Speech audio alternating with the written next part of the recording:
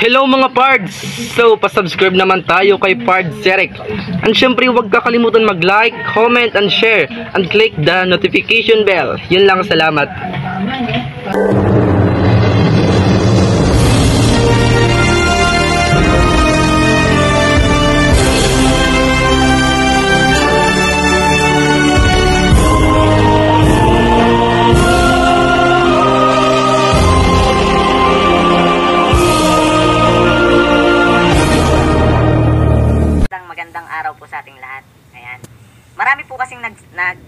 Sa akin, nagme-mention po sa akin dun sa sa isang part na video na nag-walkout po ako.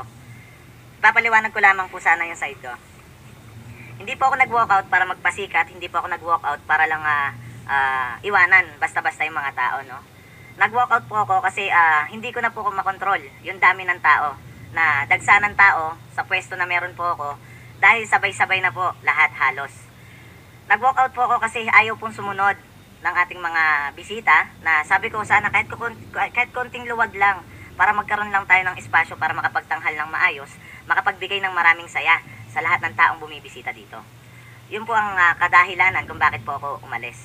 Ngayon, ah, hihilingin ko lang po sana ah, para po sa lahat ng ano, ng pupunta po rito sa Baguio City ah, para maki makiba, ma, makijam, maki, makisaya dito sa sa ating pagtatanghal dito sa Session Road. Hiling ko lang po sana, sana magkaroon po tayo ng ah ah, ng ano sa sarili. Ah, be responsible kasi syempre ah, nasa sitwasyon pa rin po tayo ng pandemic eh. Oo. kumbaga parang ah, iwasan po natin yung sobrang crowded tapos yung yung sabay-sabay kayo na lalapit.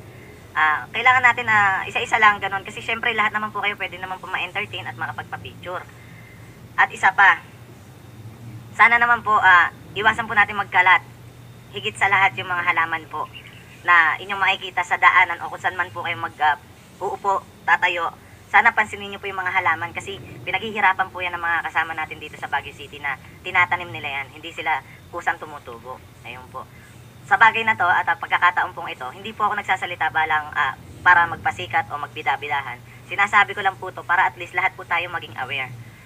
At ah, yung isang video naman na nakita ko na kawawa naman yung mga buskers na kasama ko, yung ibang cosplayer na kasama ko, puro ako na lang daw, ako na lang daw yung ah, pinapansin, doon naman daw sila, ganito, ganito. Wala pong problema doon kasi sa pagkakataong pong ito, higit sa lahat, sa pagkakataon na meron po kami mga busker dito, hindi ko naman po sinasarili ang lahat. Ah, hindi ko naman siguro masisisi ang pagkakataon at ah, ang panahong dumating sa akin na ngayon eh, ah, mas tinatangkilik tayo sa lahat, di ba?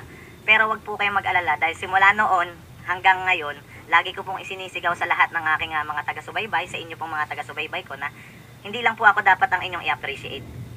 Lahat po sana kaming nagbibigay ng talento at ah, kasiyahan na makikita ninyo dito sa Session Road. Hindi lang dito sa Session Road, kundi sa iba't ibang parte ng ah, Pilipinas. Living Human Art, Street Mime, Buskers na musician, o kung ano-anong talento na binibigay, binabahagi nila para makapagbigay ng maraming kasiyahan sa bawat tao sana i-appreciate po natin. Yun lamang po, kasi syempre ako sa part ko bilang ah, isang simpleng artist, simpleng mime artist, hindi po ako nagmamayabang sa sarili ko at hindi rin po ako nakikipagmataasan o pamayabangan kahit kanino pang busker o artist o living human art o kung sino pa yan.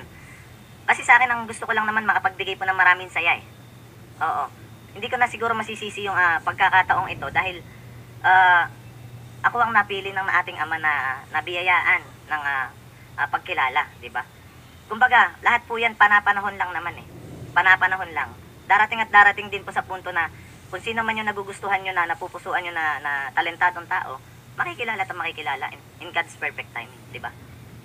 Kaya yun lang, ah, wala naman. Ah, gusto ko lang sanang ano, ah, sabihin lahat ng to kasi para para wala naman masyadong bumabagabag sa aking puso, di ba? so yun, ah, mga pamangkin ko, ah, palagi po sana kayo mag-iingat at ah, higit sa lahat, ah, ah, huwag niyo pababayaan yung sarili ninyo. Saan man lugar kayo nan- nando doon at uh, anumang bagay at ah, problema, pagsubok na dumadating sa ating buhay, piliin pa rin po natin maging masaya kahit sa munting paraan lamang. Higit sa lahat, patuloy po tayong gumawa ng ah, kabutihan sa ating kapwa para mas lalo po tayong agabayan ng ating Ama. Yun lamang po, palagi po kayo mag-iingat mga pamangkin ko. Love you all. Thank you so much. Maraming salamat po sa solid na suporta. God bless.